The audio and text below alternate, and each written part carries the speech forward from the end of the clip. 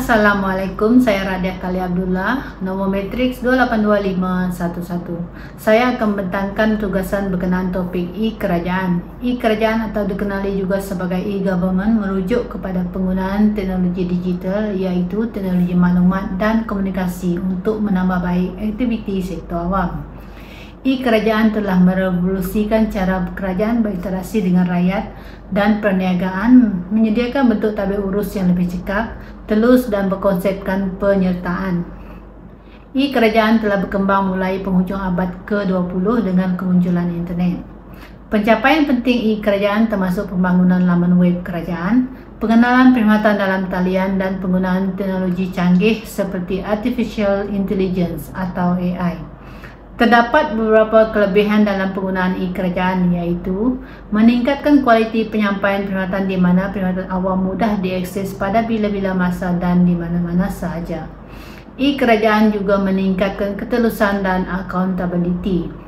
Kelebihan yang seterusnya adalah pengurangan kos dan peningkatan kecekapan di mana penggunaan kertas kerja dapat dikurangkan dan seterusnya kadar kecekapan dapat ditingkatkan. E-kerajaan juga membolehkan rakyat melibatkan diri secara aktif dalam proses membuat keputusan. Walau bagaimanapun terdapat beberapa cabaran yang dihadapi dalam melaksanakan e-kerajaan. Antaranya adalah cabaran dari segi teknologi. Ini melibatkan penyediaan infrastruktur teknologi maklumat dan komunikasi seperti sambungan internet yang mantap dan keselamatan keselamatan cyber yang teguh untuk mengelakkan kebocoran maklumat dan data sensitif. Cabaran dalam organisasi dan agensi kerajaan juga harus dikendalikan dengan betul. Ini melibatkan perubahan dari segi prosedur dan tenaga kerja yang kurang mahir dalam bidang teknologi. Dari segi undang-undang dan kawal selia juga menimbulkan cabaran yang harus ditangani. Ini kerana sistem e-kerajaan mengendalikan sejumlah besar data peribadi dan perlindungan privasi.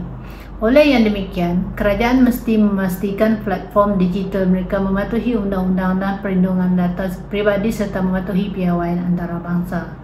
Selain itu, cabaran dalam sosioekonomi juga wujud disebabkan jurang digital antara individu yang mempunyai akses kepada teknologi digital dengan yang tidak mempunyai akses.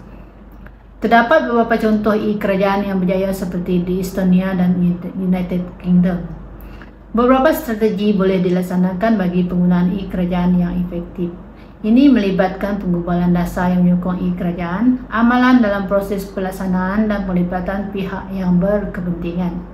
Kesimpulannya, e-kerajaan merupakan pendekatan transformatif kepada pentadbiran awam dengan penggunaan teknologi digital bagi meningkatkan penyampaian perkhidmatan, ketelusan, pengurangan kos dan penglibatan rakyat dalam tabir urus.